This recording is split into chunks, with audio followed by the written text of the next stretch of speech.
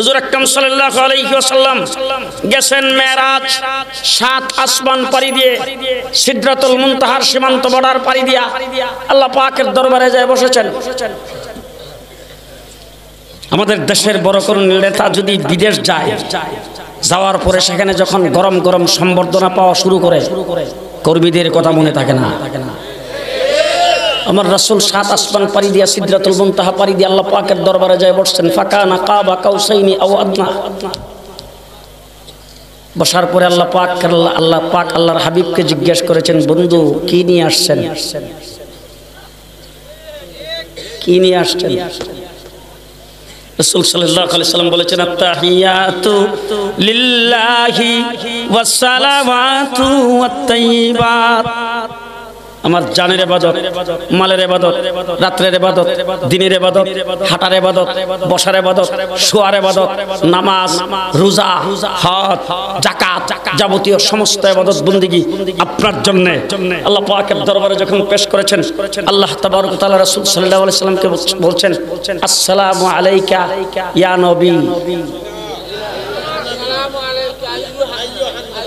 হ্যাঁ জি মেরাজ আল্লাহ পাক আল্লাহর হাবিবকে সালাম দিয়েছেন, সেই জায়গায় বলছেন, আসসালামু আলাইকা আইয়ুহান নবিয়্যু আসসালামু আলাইকা আইয়ুহান নবিয়্যু হুজুর আকরাম সাল্লাল্লাহু আলাইহি সাল্লামকে আল্লাহ পাক আল্লাহর সান্নিধ্যে যাওয়ার পরে সামনাসামনি সালাম দেয়, সেই সালামে বলে, আসসালামু আলাইকা আইয়ুহান নবিয়্যু সালাম শব্দ আগে, নবী শব্দ পরে, এই জায়গার মধ্যে ইয়া শব্দ ব্যবহার না করে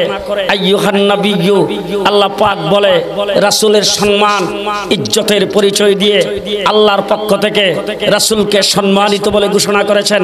আর তুমি আড়াই ফেসের জিলাপির ব্যবস্থা করে খিচুড়িয়ার ফিন্নির ব্যবস্থা করে।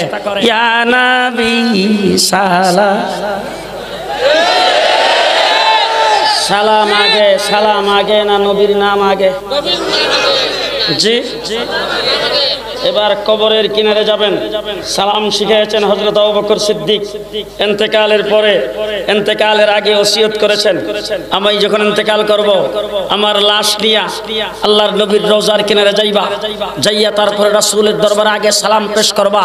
সেই জায়গার মধ্যে সালাম শিখিয়েছেন, আসসালাতু আলাইকা ইয়া রাসূলুল্লাহ। আসসালাতু আসসালামু আলাইকা ইয়া নবী আল্লাহ আসসালাতু আলাইকা ইয়া হাবিবাল্লাহ।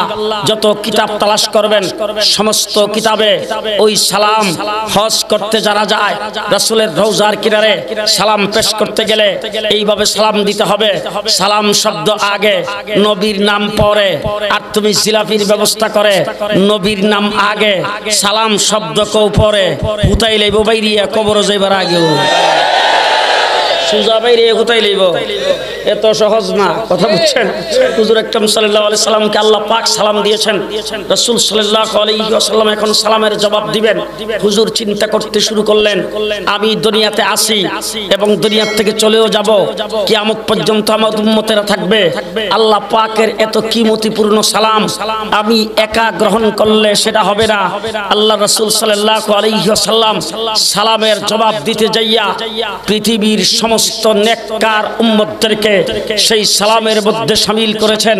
সেই জায়গায় আল্লাহর হাবিব আল্লাহর হাবিব তার উম্মতদেরকে বলেন নাই, উম্মতকে ভুলে যান নাই। আল্লাহ পাক জিজ্ঞেস করেছেন, ও আমার হাবিব, এত দূর থেকে এত কষ্ট করে আসলেন, কি জন্য আসছেন? মোহাম্মদুর রসুল্লাহ সাল্লাহ আলাইহি ওয়াসাল্লাম দুনিয়ার কোনো কিছু বলেন নাই, নিজের আলিয়াউলাদের কথা বলেন নাই, পরিবারের কথা বলেন নাই। রাসূল বলেছেন, আমার উম্মতের জন্য আগমন করেছি। আমার ভাইরা, আমাদের দেশে যখন কোনো বৈঠক হয়, দ্বিপাক্ষিক বৈঠক। এক মাস, দুই মাস আগের থেকে পেপার পত্রিকায় আসতে শুরু করে বাংলাদেশের প্রধানমন্ত্রী, ভারতের প্রধানমন্ত্রী, দুইজনের দ্বিপাক্ষিক বৈঠক হবে। ভারতের প্রধানমন্ত্রীর সাথে প্রতিনিধি দলের সদস্য তিরাশি জন থাকবে আর বাংলাদেশের প্রধানমন্ত্রীর সাথে একশত তেত্রিশ জন থাকবে।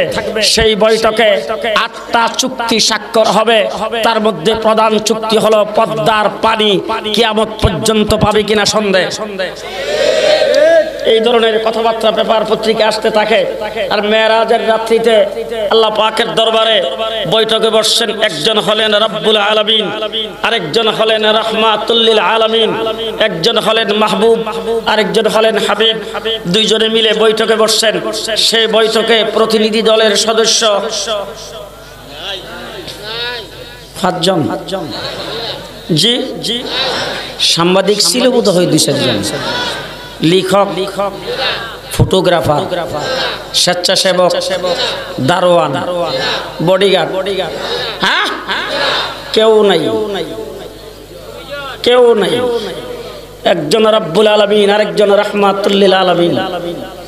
জিব্রাইল আমিন সিদরাতুল মুনতাহার গুরাত থেকে মনে মনে ভাবে, বা, কারবারটা কি বুঝলাম না। আদম থেকে ঈসা আলাইহিস সালাম পর্যন্ত সকলের বেলা মাধ্যম আমি। এখন দিয়ে আরও দুইজন ডাইরেক্ট।